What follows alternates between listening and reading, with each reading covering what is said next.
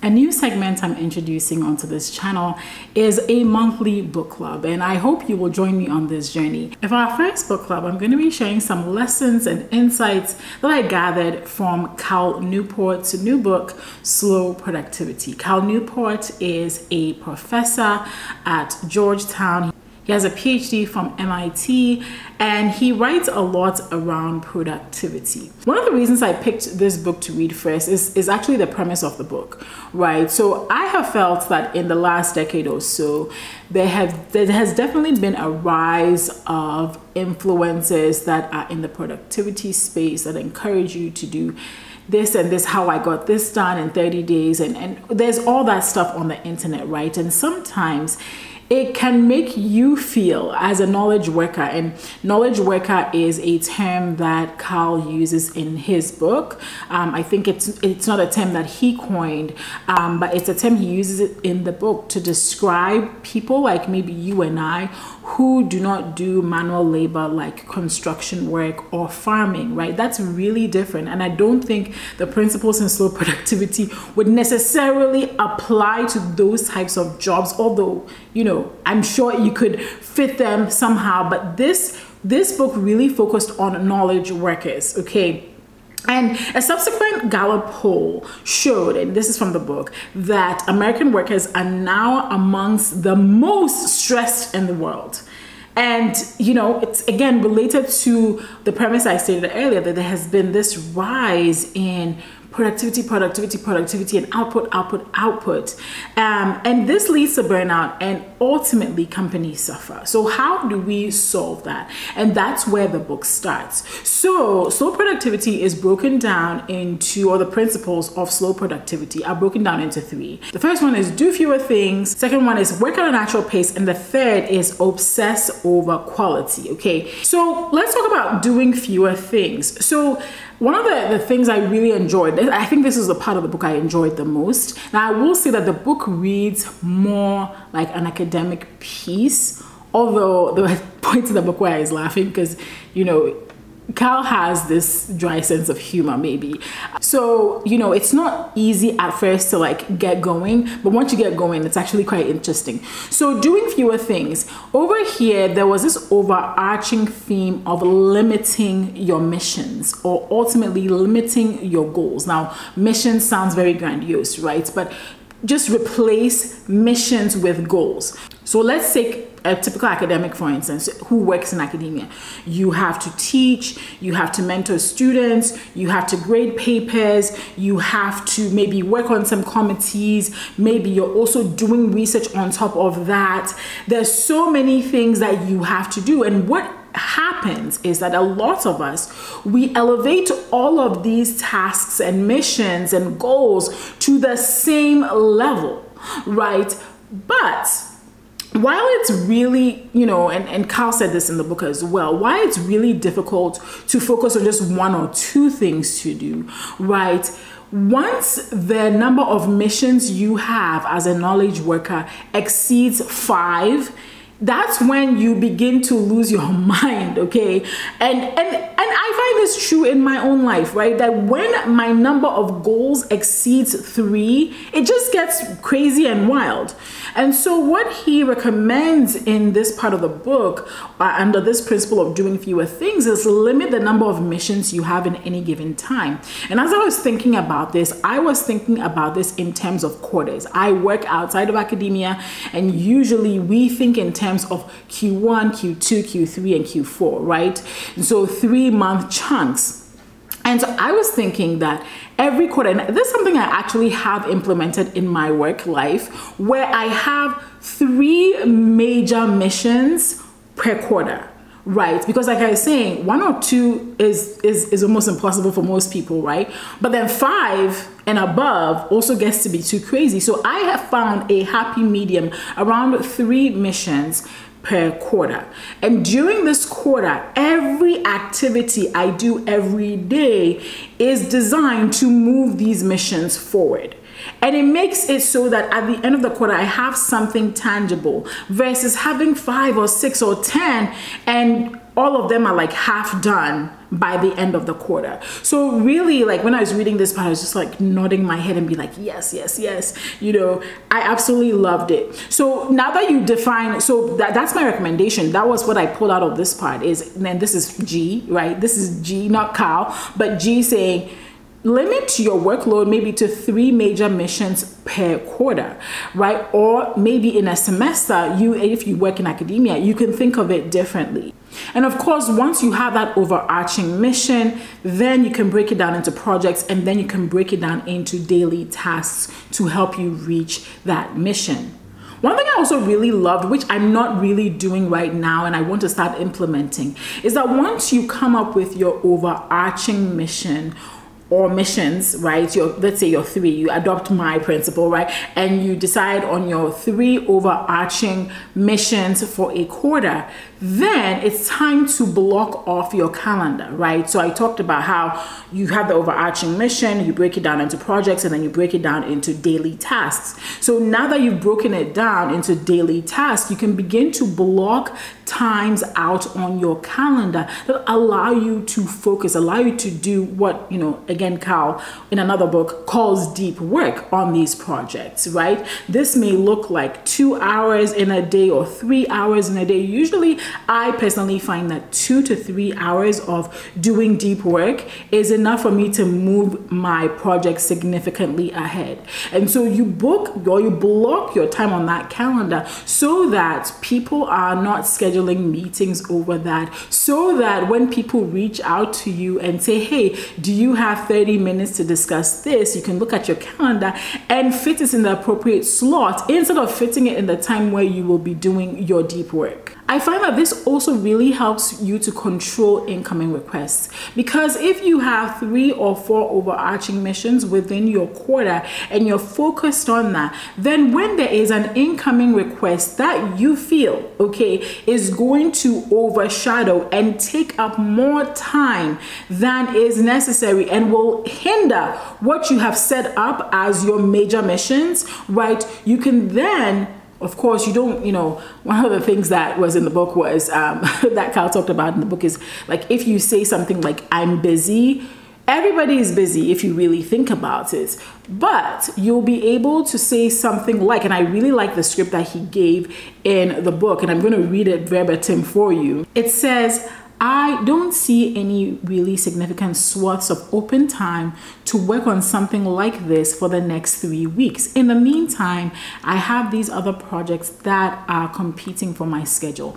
And I have used a variation of this when people have reached out for me to work on something, and I'm looking at my calendar and I'm thinking, you know, overall in the next quarter or in the next one month, maybe I can't do this. But how about we touch base again at this point in time. So you are not telling them that you're busy, you're not always rejecting things outright, even though, you know, maybe sometimes that becomes necessary, but you are framing it to say that I don't see the way my schedule is set up right now, I don't see any open swaths of time to work on this. And so I'd like to touch base in three weeks or four weeks and we can talk more about this. I know that this is not always going to be easy, this is not always going to be met with smiles, but generally, if you frame it this way, I have found that people have been open and receptive to messaging like that. Principle number two is working at a natural pace. If you think about human history and you think about even all the geographical areas in the world, right? Each of the geographical areas in the world has a month or a few months where the weather is not as forgiving, right? And usually during these times, people may be indoors, work may slow down a little bit. And so in, and you know, in the more temperate regions of the world, maybe that looks like winter. In some parts of the world, that looks like the really hot seasons things slow down, right? And so we've had this history of we work, work, work, and then there is some time for us, there is some downtime, right? And this was true with people that farm, people that hunt, people that used to do this type of work. However, with industrialization and the rise of technologies, right? Technologies like our cell phones that are that have super fast internet allow us to message anybody anywhere in the world at any time and do work that once was not possible for us to hold in the palm of our hands we have found ourselves in a situation technology is great but we found ourselves in a situation where we're always on where we're always working or always feel like we need to be working or need to be productive right but that's not healthy I don't know about you, but that's not healthy. And and this is why working at a natural pace is also I really love loved this principle so much because it's taking us back to maybe not back to those times of like resting for three months or something like that, right? But back to where it's like we embrace seasonality. And so, what does this really look like in a knowledge worker's life? One of the, the insights I really, really agreed with in this book was the fact that sometimes your best insights don't come when you are frantically working on something. So in my work, I look at data a lot, I read a lot of things, and then I write a lot of things, right? And so for me, it's important that sometimes I remove myself from my work. And sometimes some of my best insights don't come when I'm sitting there with the Word document open and I'm typing. Sometimes it comes as I decide to leave my desk and go outside and walk for 30 minutes. And right now in my current work life, this is really something that I do that during the course of my work day, I do take a break, not just to have lunch, but I take a break where I go outside, leave the building, and go walk in the sun for 30 minutes. Sometimes I'm listening to something, but sometimes I actually leave my cell phone behind. And as I'm walking, without sometimes actually actively thinking about it, there'll be connections being made that I wasn't able to make when I was typing at my computer, right? And then I'd be like, oh, let me let me like shelve that idea for when I get back to my desk. And when I get back to my desk, maybe I'll jot it down really quickly, type it up really quickly, and then come back to it. Right. So that's one example of of just like these are micro breaks you can take during your day that can actually help to rejuvenate and make connections that you would otherwise not make if you were just frantically working. And I realized that this is really counterintuitive to you know a lot of, of, of work environments again so this is why in a way you know the, this book was a bestseller and maybe it was a bestseller for various reasons but maybe you know it's challenging the the paradigm of frenetic work that some that leaves people burnt out doesn't like frowns on breaks and even taking naps. I remember this so clearly, like when I was growing up, okay. My father, who worked as a research scientist for most of his career, worked at an institution, and during lunchtime, they actually were allowed to go home because I mean, it was basically sort of like a campus and have lunch. And I remember sometimes my dad taking like a 30 minute nap I, I don't even think naps are a thing. Don't know. Uh, They're like, let me know. Do you take naps? Like sometimes I even feel guilty taking a nap. And yet this type of rest could be exactly what we need to be even more productive. And a really important point related to this is having the ability to forgive yourself and realize that you taking a break, you taking your PTO, you taking a nap, I don't know, not at work though. I don't want you to get in trouble. But you taking these natural breaks that allow you to rejuvenate and allow you to think about your work are actually not bad and to like forgive yourself if at the end of the day yes you're working on that project but you get to a point where it's like the idea is not gelling right? Or the words the, that you want to say they're not coming out the way you want to say them or or you didn't quite finish grading the papers you wanted to grade or you didn't quite finish something Forgive yourself, especially if you continue the next day to work towards that. And so, I again, I really loved this point about working at a natural pace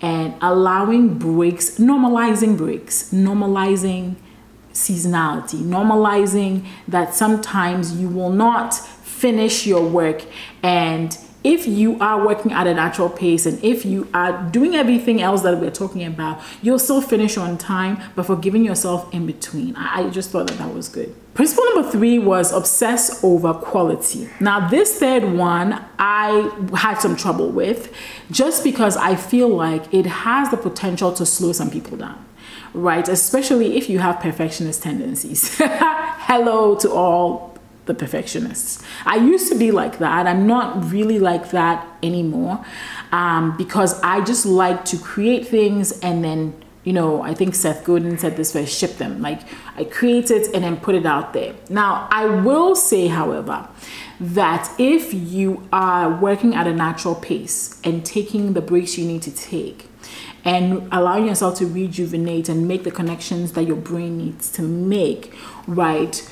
Your work will be quality. And the reason I say that is, is, is because as I was thinking about this and about how I work, right, I realized that when, for instance, I have to write a piece, I have to write, let's say I have to write an application note or a white paper, um, or even a peer-reviewed paper, usually what I'll do is I will write that first draft, right? I'll write that first draft, which often is pretty terrible. It's not great, right? And then I put it away um, and may end up working on another mission, another goal. And then I come back to it about a week later and I begin to read it again. And as I read it again, I begin to see where my gaps are. Maybe during that time, you know, in between, I may be reading, I may have some discussions, I may have some experiences that are like, ooh, I should really include that in what I'm writing. And this is true for whether I'm writing, doing my scientific writing, I also write fiction, writing my fiction, or even writing LinkedIn posts, right?